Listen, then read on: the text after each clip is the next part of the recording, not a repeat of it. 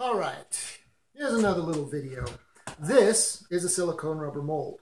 This particular mold, um, I don't know if you can see what it is right there, but um, this is one of my homemade flat cars. And it does have some resin castings on it. But what I'm interested in showing today are the K-rails.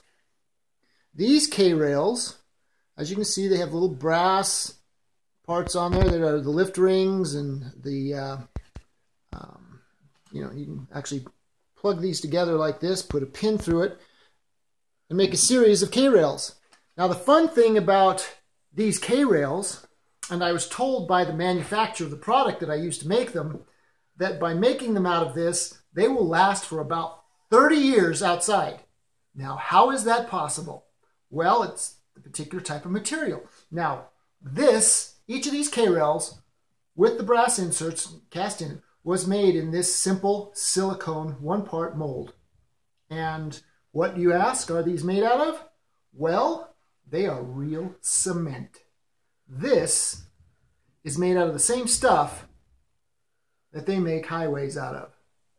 And if you can look up close, there's some beautiful detail in there. Even got little micro bubbles, just like the real concrete. And they're the same color all the way through. So if they break, you'll have it'll look just like a real K-rail. So anyway, that's what I wanted to show you. That resin is resin isn't the only thing that you can use in these molds.